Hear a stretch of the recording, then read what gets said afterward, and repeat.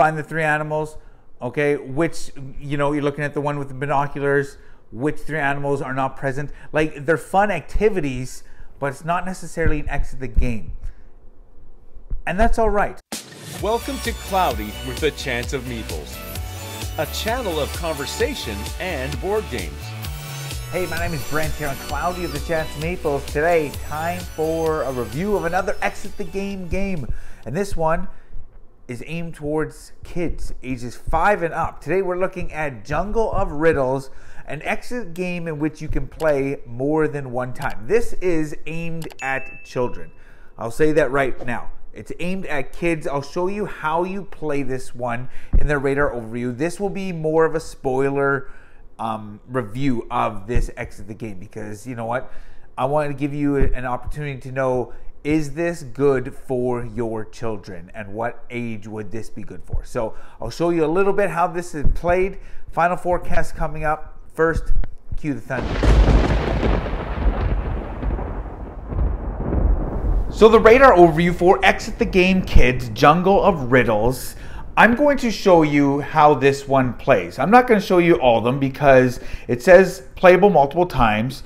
And so you have six different categories, and you'll be using one of each different categories um, in, in the game. So you'll be doing one of each little quote unquote riddles in each game. I just want to show you how exactly these play because if you have kids and it says ages five and up, and I know my kids are, you know, seven and just about 10, so they're a little bit out of the age range of what this box says. But they did enjoy the Christmas Advent calendar, exit the game Advent calendar. And I want to show you what these little riddles or, you know, brain teasers all include so you can know are they too easy for my kid or are they not not easy enough or whatever. So this is going to be a spoiler, but chances are as a parent you're going to be doing this and kind of overseeing and just monitoring your kids to you know help them out if they need. But you have six different types of puzzles in which you'll be doing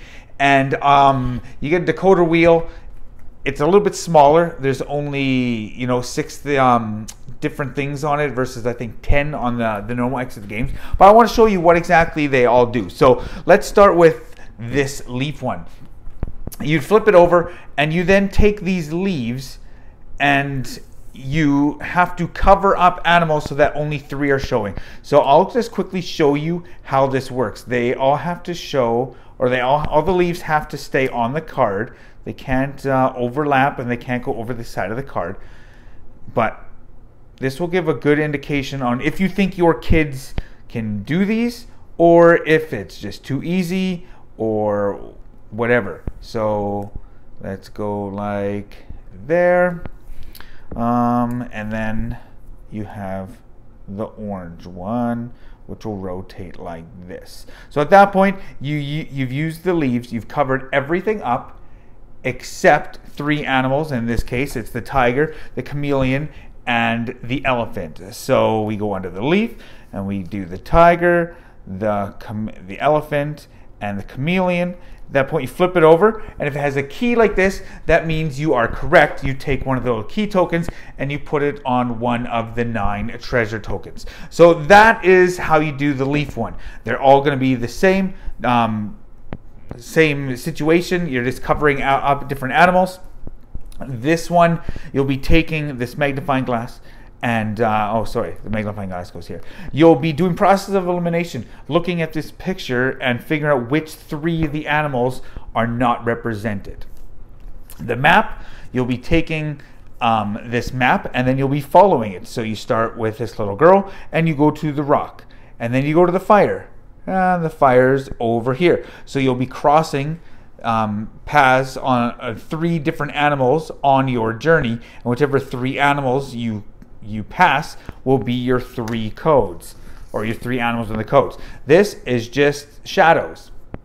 So you figure out which three animals are represented in the shadows. You put it in the decoder wheel. This one, the magnifying glass, you have to put this little magnifying glass somewhere on this where only three animals are showing. It can't be over the edge. It can't have any other parts of animals showing. And whichever animals, um, three are in that little circle, that's your code. And then you flip over one of these hat ones. Again, you're going to be taking one of each of these, and the rest will be set aside. And you look at the box and you say, which three animals have this little hat on it?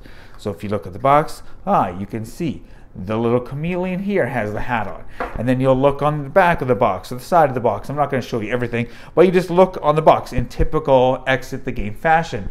And then kids will be looking at the box and figuring out which three animals are represented. So it's pretty it's pretty simple. It truly is pretty simple. Anytime you get it right, you put your, you know, your tokens on the different treasures.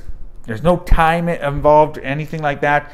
And then when you uh, have figured them all out, then you just look, and it's fun for the kids to find out. Oh, look, one of the treasures is bubbles, a chest full of bubbles, and th- that's about it. So I just want to show you how these puzzles or riddles, whatever you want to call them, they're not really riddles.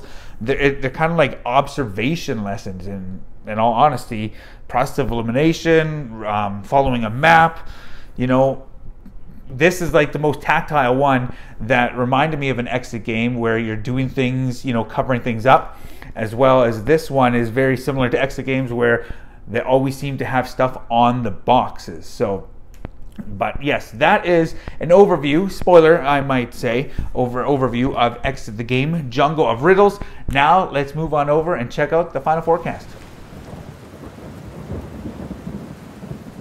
So the final forecast for Exit the Game Jungle of Riddles, an exit the game aimed at children, ages five and up. Our kids, age seven, just about 10. So a little bit higher than the age range that this is the target audience for. And I will say this. We love Exit the Games. We did one of the ones, the Christmas one, the um, Ice Cave one with our kids. And some of those riddles and some of those puddle, puzzles were a little bit over their heads. This one is ah, it's kind of to me they're not riddles. To me they're not puzzles. They're kind of I guess logic puzzles. They're more like a problem solving thing. Take the one for the shadows. You're looking at a, a picture, three different shadows overlaid on top of each other, and you got to figure out which three animals are represented by those shadows. That's not really necessarily a riddle or a puzzle. It's kind of like an observation thing. And I will say this that's not necessarily a bad thing. I see this standing out and really shining in the classroom of an early elementary school age classroom. So that kindergarten, grade one, maybe if you have centers in your classroom, maybe you're homeschooling, I see this shining there. You can do this six different times and then you'll have done all the puzzles, if you want to call them that, or the riddles or you can just mix and match. Chances are, you know, you may forget, or for me, I forgot. Oh yeah, we did that one. That's all right. So you can mix and match, and truthfully, I can do these. I can do all six of these puzzles in probably less than six minutes. Like for me as an adult, it's so easy, but it's not the target audience. The target audience is children ages five and up. My kids, they enjoyed it they weren't chomping at the bit to keep doing it because after you figure out, okay, I follow the map, find the three animals, okay, which, you know, you're looking at the one with the binoculars, which three animals are not present. Like, they're fun activities, but it's not necessarily an exit the game. And that's all right. I think I think that's all right because I will say this, the one with the leaves where you're covering up the cards and the one with the box that you're trying to find the three animals wearing a certain hat, those lead into what the Exit of the series has done for many years now, where you're looking at the box and you're looking for different things on the box or in the insert. You're covering different things up to reveal a code. My kids, they liked that. They liked putting in the code. You know, the whole decoder wheel was a fascinating thing for them.